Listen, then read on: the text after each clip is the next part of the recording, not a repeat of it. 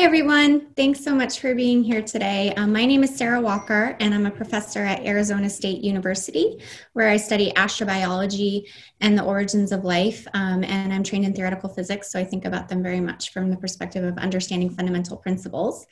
Um, so, just to get started, um, I am really deeply interested in this question about whether life has universal principles, as I mentioned. Um, and I've been working in this field for quite a long time.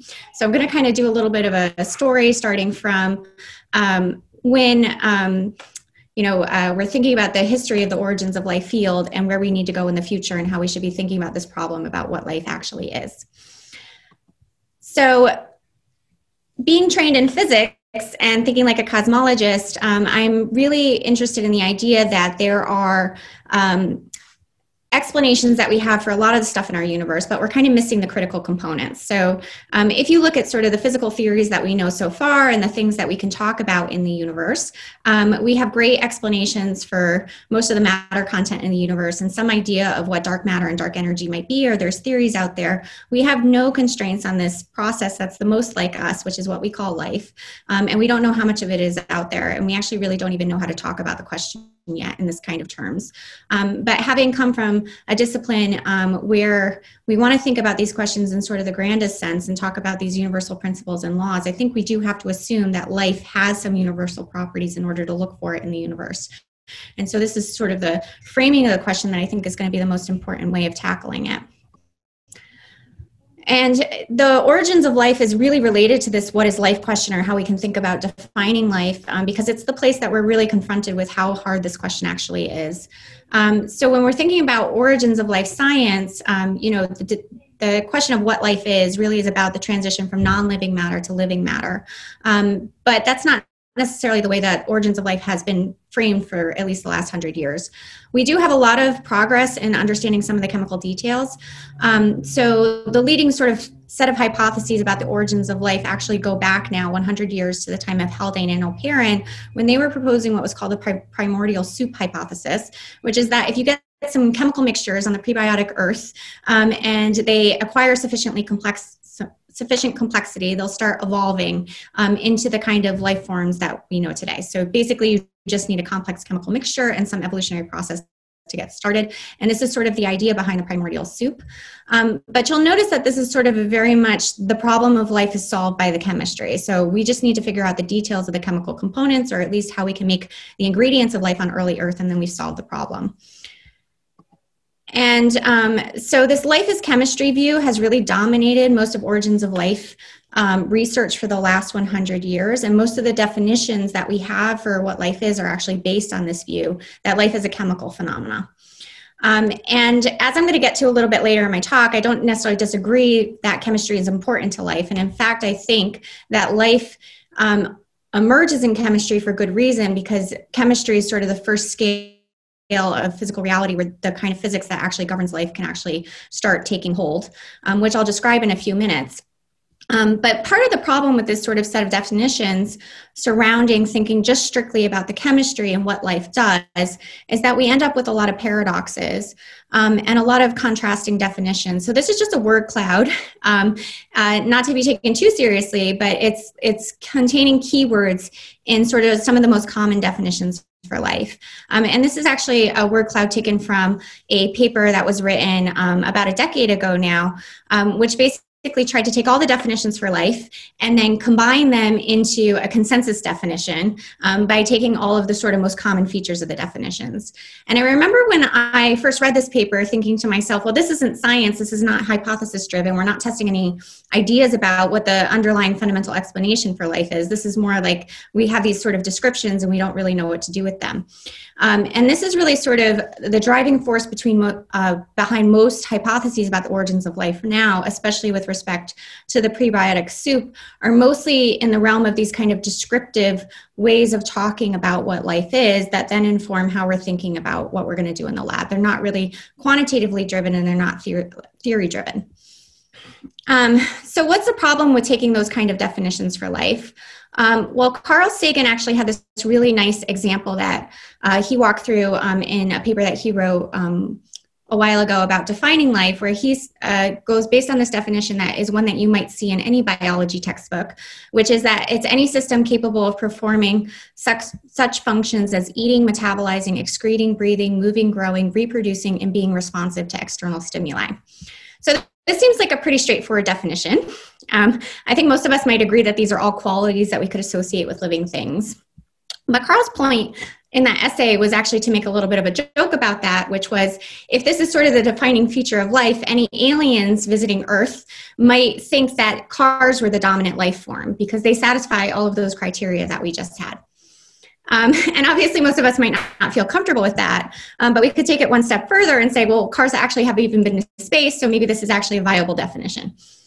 Um, so, so one of the things that I think was really um, well pointed out um, in this essay um, is well first off there is no viable definition and i think that's still widely agreed upon today. There's at least there's no scientifically agreed upon definition for life.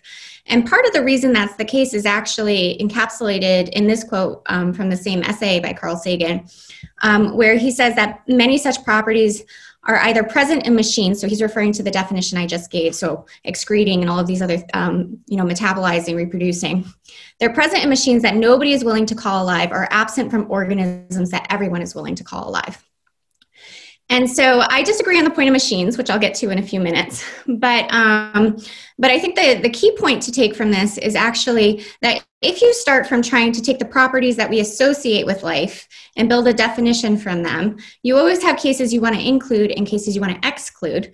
Um, and then when you work sort of axiomatically from that to build a definition, you always end up in this kind of paradoxical situation where some of the cases you wanted to include are actually excluded, and some of the cases you meant to exclude are actually included in your definition. And this is one of the reasons that viruses have been so hard to accommodate when people are talking about definitions of, de- of life and why we have um, all of these sort of edge cases that don't quite fit our definitions or lead to these kind of paradoxical sets of assumptions.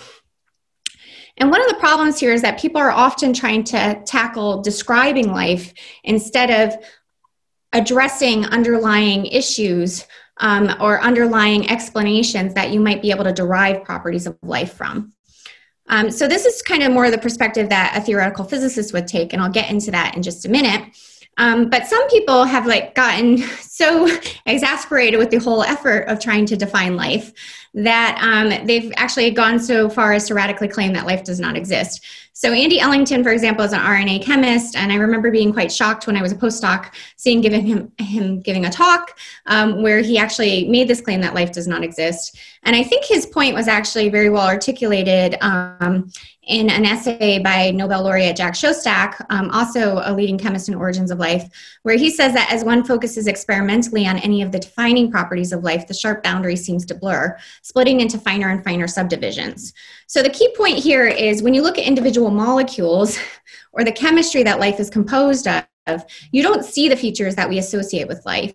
And of course, this is kind of intuitively obvious. Um, most people think of life as a systems level property or an emergent property. So, for example, the atoms in my body are not alive, but I, I as an entity am alive. So somehow we have to capture that in, in whatever it is that we're talking about. But it doesn't seem to be present if we just talk about chemistry.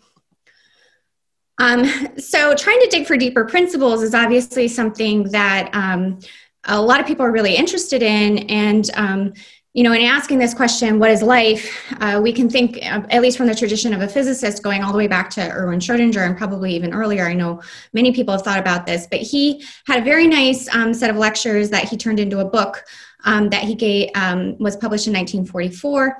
Um, on the topic, What is Life? And that book's actually historically important because it's said to have as inspired Watson and Crick to look for the structure of DNA, which they discovered along with Rosalind Franklin. Um, so, what it, what is life? What was he actually asking? Well, he wanted to know about how physics and chemistry can explain what's happening inside a living cell. And so, this is obviously um, a question of interest. I'm not sure that the spatial boundary of a living organism, thinking about a cell as a fundamental unit, is the right way to think about it. Um, but asking the question about whether physics and chemistry can explain life is really critically important. Um, and part of his own explanation was to come up with this idea of negentropy, which is that life locally increases order, um, but does contribute to sort of increasing entropy, which is important in thermodynamics. And that was sort of part of his explanation for life. But he ultimately concluded that that wasn't really sufficient to explain life. And in fact, my favorite quote in the whole book, um, which is kind of motivating the title of my talk, is that living matter, while now eluding the laws of physics as established up to date, is likely to involve other laws of physics hitherto unknown. So this gets to the point that is really sort of the central focus of this talk, which is when we actually understand what life is, I think it's going to actually involve new laws of physics that we don't understand yet, and they might be quite different than the laws of physics that we know now. To continue watching this video, click the link in the top left or in the description below. Or visit iai.tv for more debates and talks from the world's leading thinkers on today's biggest ideas.